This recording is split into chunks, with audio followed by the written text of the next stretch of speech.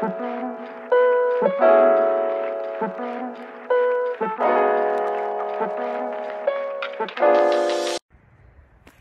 everybody, Sonia, NJ Garden Teacher, and we are doing more winter gardening out here in January. It's pretty nice day today. I believe it's in the 50s, but I have nine days, nine days until I have spinal surgery.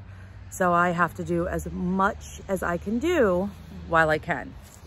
We have apple trees to prune. We have peach trees to prune. We have a grapevine to prune and this entire area just needs to be cleaned up. Um, I'm hurting pretty well today, so I'm going to be doing what I can standing and I'll also be just adapting what I have to do by sitting. And let me show you something really, really cool for people who need adaptive devices to garden. Corona Tools has these line of tools that were out and they are extendable. They are Corona tools, like I said, and they're extendable tools. So this is a trowel. It tells you you can turn and open it and you can move it any way you need to. So you can make it shorter, you can make it longer, and then you turn it the opposite way to lock it. So it's now locked in place. I have the trowel and I have the cultivator. So I'm just making sure, yep, that they are locked and ready to go. So if you are a wheelchair user, you can definitely use something like this to continue gardening. Uh, I'm thankful for Corona Tools for having supplies like this. And when Bullock Garden Project actually was able to supply the Glassboro Community Garden with some tools, for inclusion, we made sure we had a supply of these because again, it's just important for everyone to be able to garden. So let's see what we can do today, not only from our chair, but we're gonna have to stand. So let's do that first. Let's go prune some trees. Right here is my apple tree. Pretty sad. There's some fruits that are on it that are just all dried up. But this is a hybrid. It's a Fuji and Yellow Delicious apple tree. My niece picked this out because she wanted to have an apple tree. That's why we got this. But it is in need of some severe, tender, loving care. Now, before I prune this tree, and pruning is not my forte, um, I had to go back and thank goodness, watch the videos from my master gardening classes. I did my class through Rutgers University Master Gardeners. Um, the person who taught us how to do pruning was wonderful. And let's walk through this together, okay? We're not experts, but let's walk through pruning together. Today, I'm because I'm pruning, I have my turtle gloves. So I'm wearing my turtle gloves, but I'm also going to put on my, uh, my gardening gloves. And I love these Showa Nitrile gloves. They have been the best gardening gloves for me. So I always put on a little lotion before. These are clean. They have been washed. All of my garden gloves at the end of the season get washed. But because I just want a little extra hand protection, let's see. I mean, I'm gonna rock the turtle gloves with it. The first thing I need to do when looking at this tree, I'm envisioning the shape that I want it to be.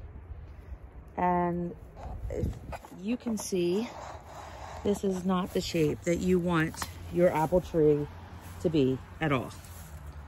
So it looks like there's a couple places where there was like a hard cut or a hard trim, I think they call it.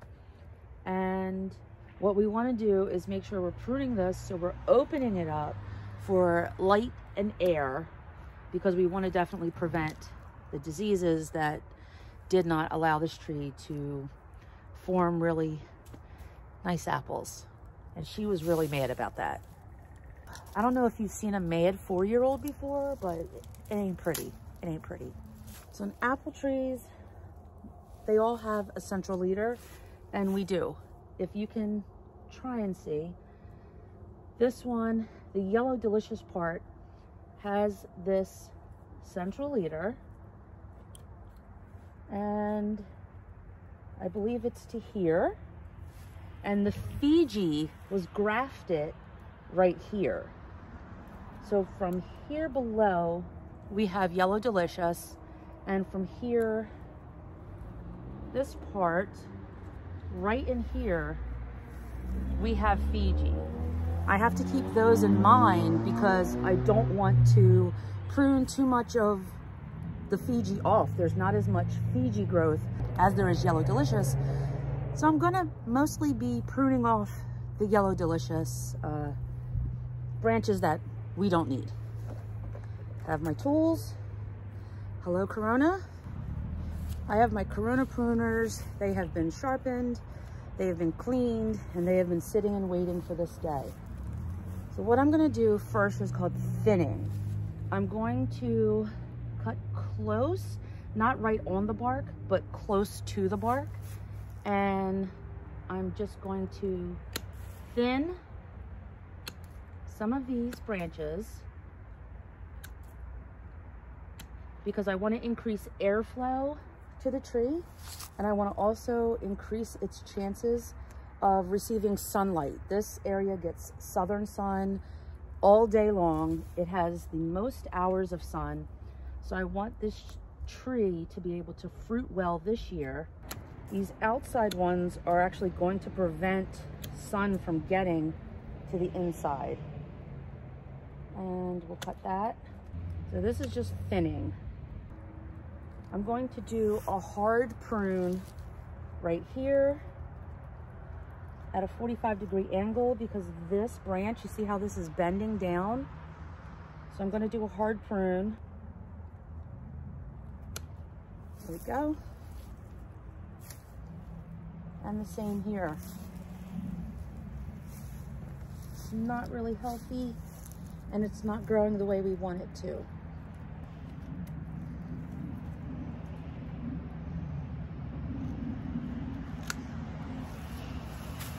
I wish I had branch spacers because I think that would greatly benefit the way this tree is growing. But for right now, we just gotta do what it do. We did some hard pruning so it'll strengthen these branches. And because right now, there was no way this thing was able to hold those apples. And I think that that's part of the problem. Another part is it just did not have enough air. So we're gonna get rid of some of these extra pieces like right in here at the crotch.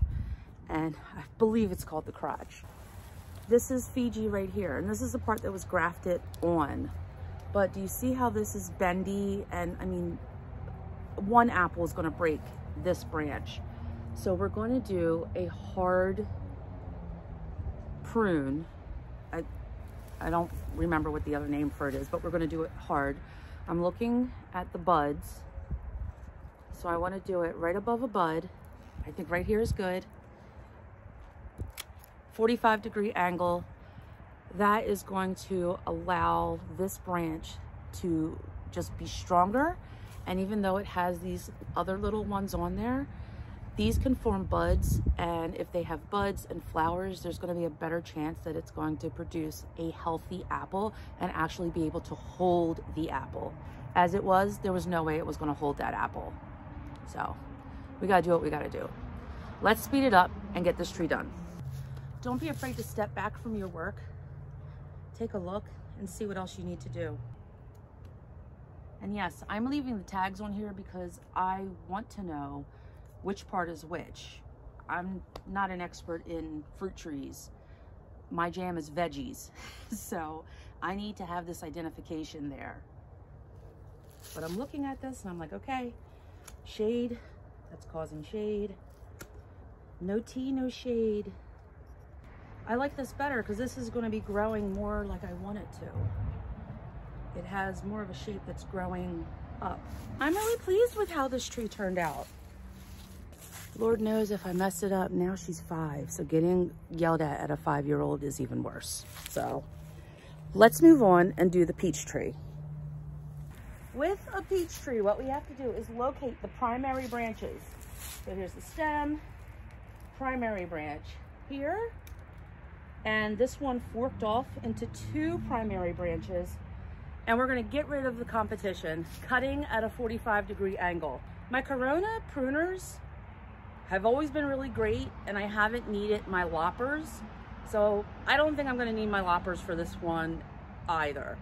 Let's just go cut this, get rid of the competition, get this baby ready to grow. Peaches this summer. I'm not gonna cut the red that I see, that's new growth and that's gonna be more productive. So I'm gonna make sure I'm cutting older pieces, like so.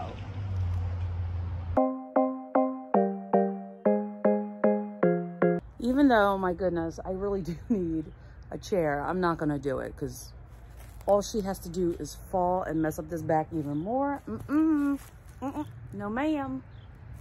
Um, I think this is pretty good. Getting rid of some of these tender ones, they will be okay. They will be okay. I just need this tree to produce fruit. I want some peaches this year. We had a few last year and the squirrels got to them. What do you think, YouTube? I think we did good. I think we did good. What is part two?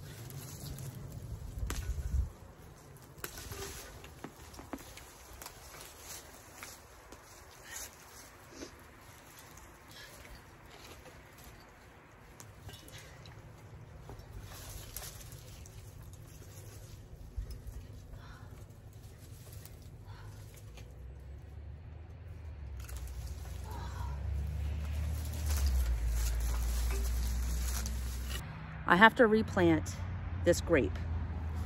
Now, I don't know how this is going to turn out. I'm gonna be honest with you. I have no idea. I'm, I love vegetable gardening and I love fruit, but I have no problem going to one of my farmer friends and purchasing their fruit. So I think I just need to give it a try and Let's see if I can replant this grape and see if I can train it along this cattle panel that I have here. There are still some gnarly leftover vines. I'm not gonna worry about those. I'm chasing sunlight right now, or it's chasing me. So let's get going. What wasn't a good thing, what wasn't a good thing is I really didn't have to put in a lot of effort to get this out. So I think, ugh, I think I'm glad that I just decided to go ahead and do it. So what I'm gonna do, use my trusty groundhog here. Thank you to Brie Arthur. Hashtag things I learned from Brie. The groundhog is amazing. I'm gonna dig right here. Let's put this down so you can see. And this is where we're gonna plant our grape. It has a pretty extensive root system already. And from everything I understand, that's a good thing.